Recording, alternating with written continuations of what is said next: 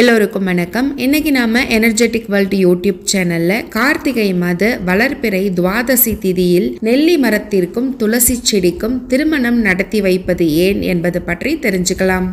நம்ம energetic world YouTube சேனலில் வர பதிவுகள் உங்களுக்கு பிடிச்சிருந்தா லைக் பண்ணுங்கள் ஃப்ரெண்ட்ஸ் அண்ட் ஃபேமிலியோட ஷேர் பண்ணுங்கள் மறக்காமல் நம்ம எனர்ஜெட்டிக் வேர்ல்ட் யூடியூப் சேனலை சப்ஸ்கிரைப் பண்ணுங்கள் பக்கத்தில் இருக்கிற பெல் சிம்பல் கிளிக் பண்ணிவிட்டு அதில் ஆளுங்கிற நோட்டிஃபிகேஷன் சிம்பிளையும் டச் பண்ணுங்கள் அப்போ தான் நான் போடுற வீடியோக்கள் எல்லாம் உடனுக்குடனே உங்களுக்கு கிடைக்கும்.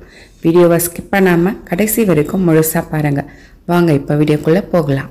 எது நம் உடலுக்கு நல்லதோ அதை பாதுகாக்க வேண்டும் என்ற எண்ணம் நம்ம முன்னோருக்கு நிறையவே இருந்திருக்கு. மரம் நடுங்கள் என்று அரசாங்கம் எவ்வளவுதான் நம்மளை சொன்னாலும் மக்களில் பெரும்பாலானோர் அதை காது கொடுத்து கேட்கறதே கிடையாது. இதையே ஆன்மீகம் சொன்னா உடனே செய்வோம். இந்த அடிப்படையில தான் உடலுக்கு நன்மை தரும் தாவரங்களான துளசி மற்றும் நெல்லியை பாதுகாக்க அவற்றுக்கு திருமணம் நடத்தி வைத்து அழகு பார்த்தாங்க நம்ம முன்னோர்கள். இந்த திருமணம் வட மாநிலங்களில் தான் ரொம்ப விசேஷமாகவும் நடைபெற்றதாம். கார்த்திகை மாதம் வளர்பிறை துவாதசி திதியில் தான் இந்த விழா நடக்கும். ஒவ்வொரு மாநிலத்திலும் திருமணம் நடத்தும் நாள் தேதி நேரத்திற்கு ஏற்ப சற்று மாறுபடுவதும் உண்டாம். ஜலந்தரன் என்ற அசுரனின் மனைவி பிருந்தா கணவனிடம் அதிக பிரியம் வச்சிருந்தாளாம். ஜலந்தரன் தன் அதீத சக்தியால தேவர்களை துன்புறுத்தினானாம். விஷ்ணுவிடம் இந்த புகாரும் சென்றதாம் பிருந்தாவின் கற்புக்கு கலங்கம் நேர்ந்தால் மட்டுமே தன்னை கொல்ல முடியும் என்ற வரத்தை ஜலந்தரன் பெற்றிருப்பதை அவர் அறிந்தாராம். மாயவனான விஷ்ணு ஜலந்தரன் இல்லாத நேரத்தில் அவனைப் போலவே உருவெடுத்து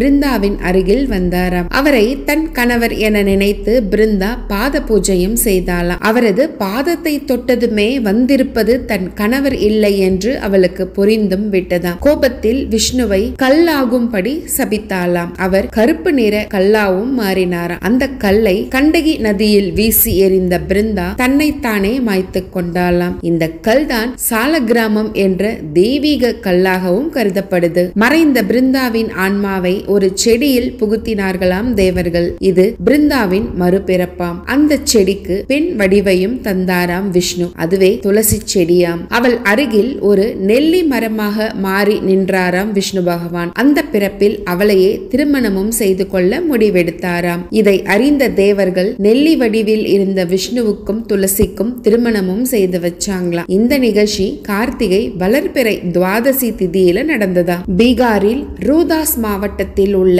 சௌஜானா கிராமத்துல இந்த நிகழ்வை கார்த்திகை வளர்பிறை ஏகாதசி திதி முதல் திரையோதசி திதி வரை மூன்று நாட்கள் விழாவாக கொண்டாடுவாங்களாம். விழாவில் ஐம்பத்தி ஆறு வகை பிரசாதம் தயாரித்து மக்களுக்கும் கொடுப்பாங்களாம். விஷ்ணுவுக்கும் துளசிக்கும் மாங்கல்ய தாரணமும் செய்து வைப்பாங்களாம். இந்த திருமணத்தில் பெண் குழந்தை இல்லாத பெற்றோர் துளசியை தங்கள் மகளாக கருதி விஷ்ணுவுக்கு திருமணமும் செய்து வைப்பது மற்றும் ஒரு விசேஷமாகவும் சொல்லப்படுது. தாவரங்கள் பாதுகாக்கப்பட வேண்டியவை. அரசுக்கும் வேம்புவுக்கும் திருமணம் செய்யும் வழக்கம் இன்றும் நம் தமிழகத்தில் உண்டு. இரண்டுமே மருத்துவ குணம் உடையதுதான். தாவரங்களை பாதுகாக்கவே அவை ஆன்மீகத்தோடு இணைக்கப்பட்டதாக காரணங்களும் உண்டு.